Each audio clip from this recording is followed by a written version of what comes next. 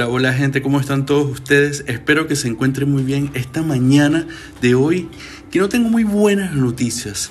Tenía ganas de subir un video a YouTube mostrando un gran tutorial, fíjense ustedes, pero el programa que estaba utilizando tiene una gran marca de agua.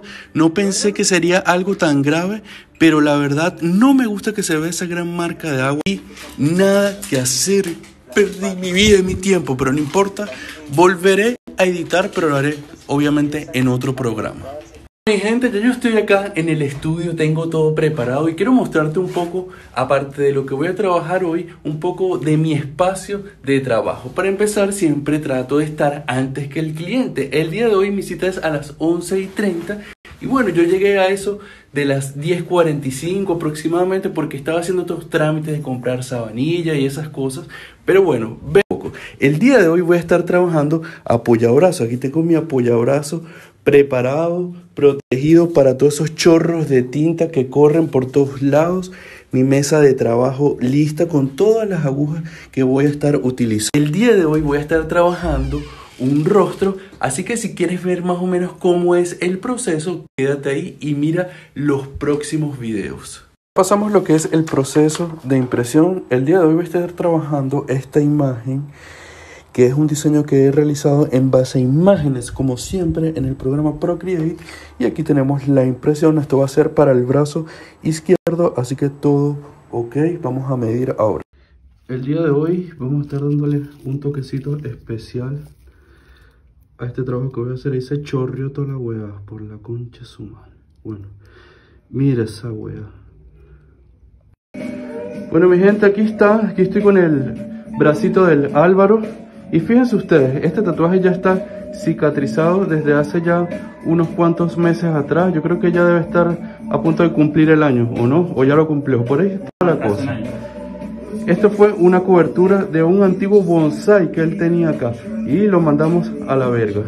Y bueno, todavía nos falta un poco acá del hombro. Hay que darle fuerza a esas raíces acá. Porque como ven, Álvaro tiene un buen brazo que se puede aprovechar y hay harto lienzo ahí. Esto también está aquí cicatrizadísimo también, lo realizamos hace muchos meses atrás. Esta linda leoncita en representación de su hija. Y bueno, por ahí va subiendo el árbol y el día de hoy vamos a estar trabajando esta maravilla. Bueno, vamos a darle unos toquecitos acá a esto para integrar un poco y esto lo voy a hacer con plumón.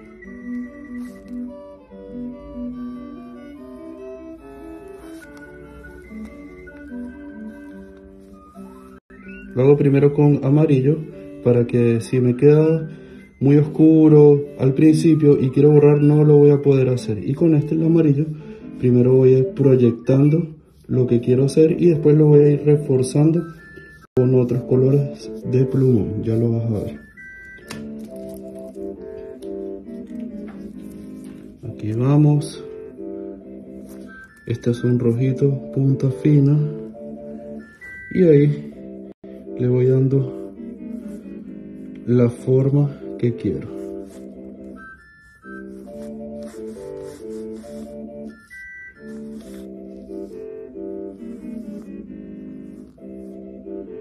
Bueno gente, yo he hecho la primera parte de lo que sería el tatuaje, que es hacer las líneas. Súper importante para mí porque esto siento yo que le da mucha fuerza. Muchísimas preguntas personas me preguntan si es necesario colocar líneas en los tatuajes en blanco y negro y yo digo que sí porque así lo hago yo, obviamente. A través del tiempo he aprendido esto. Pero entre otras cosas quiero hablarte de los números romanos. Son la cosa más fácil del mundo, pero por supuesto que no es la manera o es los números romanos se pueden atropellar fácilmente. ¿Qué quiero decir con atropellar? Que pueden quedar doblados, chuecos por subestimarlo. Nunca subestimes nada en tu tatuaje. No hay algo fácil, sino más bien que necesita tu atención, que quede bien. Por ejemplo, las curvitas de los, en los bordes de cada número, que queden un poco más grueso, un poco más fino. Todo depende de la perspectiva que estés haciendo en el tatuaje. Bueno, ya hemos terminado lo que es la parte de las sombras. Anteriormente te mostré todo el trabajo de líneas que hice y fíjate tú que las líneas se notan, pero no es algo tan grave. Cada quien lo va trabajando a su estilo y esta es la forma que a mí me encanta hacerlo. Ahora bien, por fin casi llega el momento de hacer lo que estaba esperando toda esta tarde, pequeña. Pero no lo voy a hacer así tan rápido de irme a la cara, sino que voy a ir trabajando primero por las partes acá de las manitos, y como ves ya he trazado algunas líneas para no perderte belleza, y así poder también marcar lo que es el fondo y añadir estos detallitos acá, como ves de ropita que también se están rompiendo, que no estaban en la plantilla, pero así es esto, poco a poco, vamos avanzando. Bueno gente, hemos terminado, así que es hora de limpiar las hueaditas. Vamos a ver, vamos a ver, vamos a ver. Finalmente ha terminado este largo día y así ha quedado este tatuaje.